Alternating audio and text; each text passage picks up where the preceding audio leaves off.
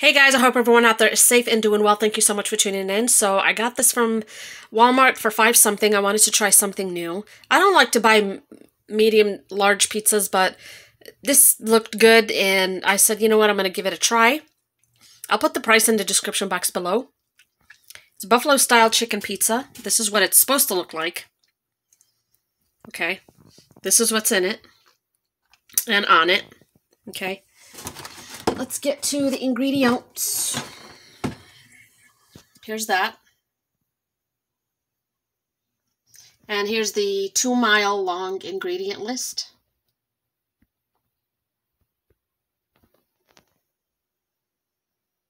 If y'all want to pause it and read that, but you can go to the store and, and, and look it up, you guys. So this is the pizza here. Yesterday, I already ate the other half. When I buy a, a medium or large pizza, um, frozen, I like to cut it in half and eat one half one day. I don't eat pizza like that, you guys. So I'm not going to eat a whole pizza by myself. So I eat one half one day and then if I decide at the end of the day, no, I don't want no pizza, well, it's in the, the other half is in the freezer. But let me tell you, this pizza is so good. For a frozen pizza, this is really good, you guys. It does not, nothing on here tastes artificial.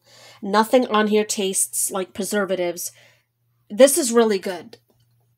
This is really good. I, I really like this, and I'm going to go back and, and get one more.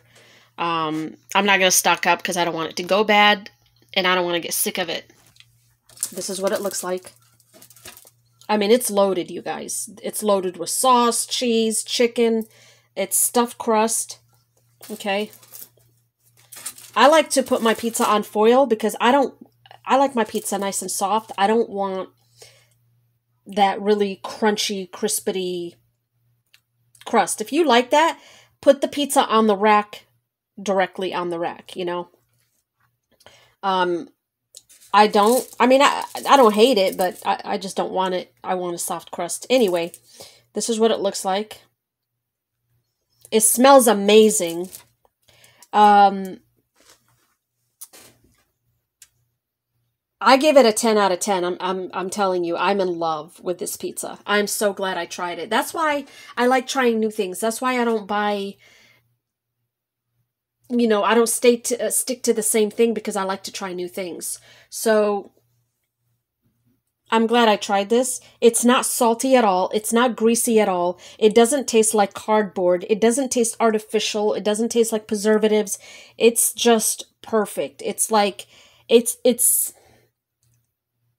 it tastes homemade. You know what I'm saying? I've had homemade pizza. It's damn it's heaven. This is that. This is so good. Mm. You could definitely taste the ranch. Okay. I love ranch. If you love ranch and buffalo, anything, you're going to love this pizza. Okay. Um, it's not spicy at all. I mean, if you just pick at the chicken, the chicken is, it does have a, um, a little bit of a kick, but nothing to go get water, you know, over.